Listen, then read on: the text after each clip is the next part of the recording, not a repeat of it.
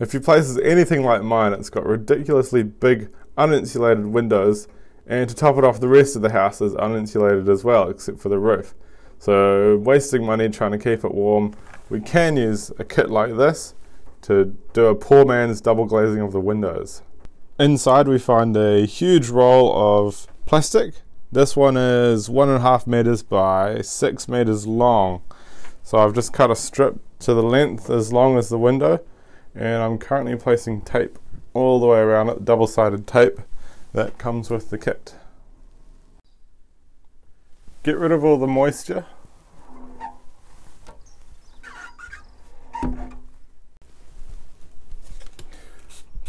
Give the window a good old clean because you won't have access to it for a while. Clean around the inside of the frame. Use some rubbing alcohol if you have any. It is quite hard to find it in New Zealand. You have to go to Bunnings or maybe a pharmacy to find it.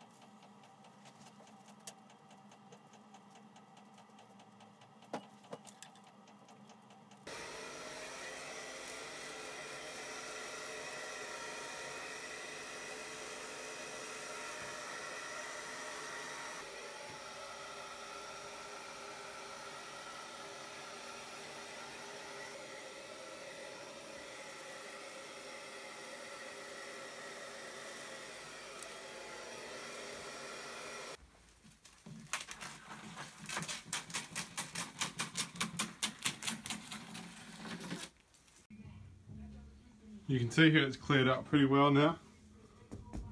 You can hardly even see it when it's not moving. And in comparison, here's the other window. Full of moisture. Not a drop on this one.